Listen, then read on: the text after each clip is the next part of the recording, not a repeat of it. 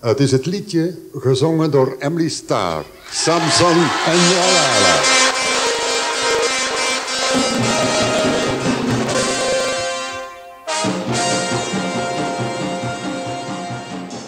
Het uh, was een systeem met lottoformulieren. Dus de mensen thuis konden uh, in de krantenwinkels en dergelijke formulieren verkrijgen. Die ze dan moesten nummertjes invullen. En ik had nummer 30, dacht ik.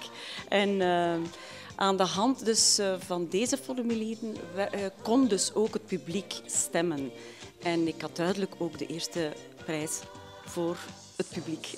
Ja, ik zie mij er nog altijd tussen staan. Als ik het zie, dan zeg ik, kijk, ja, zo lang geleden. In 81 stond ik daar zelf. En uh, ja, het doet nog altijd iets zo.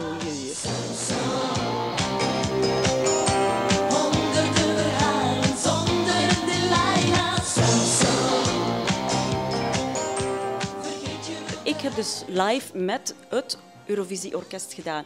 En dat bleek toch wel een beetje... Het kon beter in, op playbackband geweest zijn. Ja. ja, de winnaars, Bugs Vis, die zijn me bijgebleven. Maar voor de rest, dat weet ik niet meer. Nee. Uh, in Dublin was, hadden ze geen echte grote concertzaal. En dan hebben ze maar alles ingericht in een manege. Wat de pers betrof, zou ik een van de eerste drie. Maar ik denk toch dat het orkest daar een beetje tussen zat, dat ik een iets minder uh, plaats had. One, two, one, two, three, four.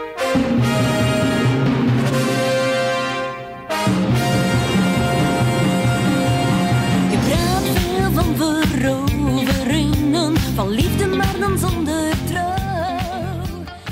Ja, het is een compilatie-cd die we hebben opgenomen.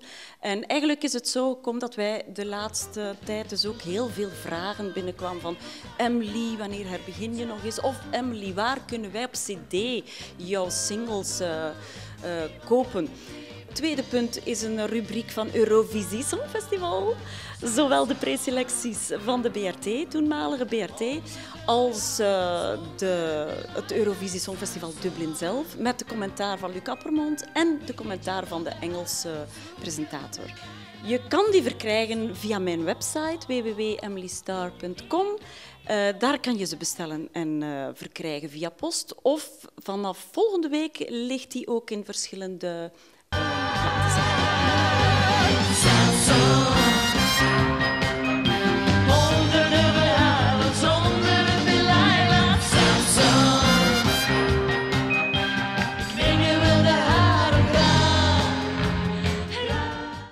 heel mooi klinken, ook al begrijp je er niks van. Het, is een muzikaal taaltje, heel tof gedaan. Uh, het meisje zelf ook, de zangeres, komt heel goed voor. En met haar ik kan het niet zoals zij het doet, maar ik vind dat ook een toffe act.